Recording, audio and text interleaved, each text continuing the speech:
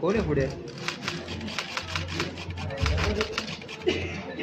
अरे कोण आहे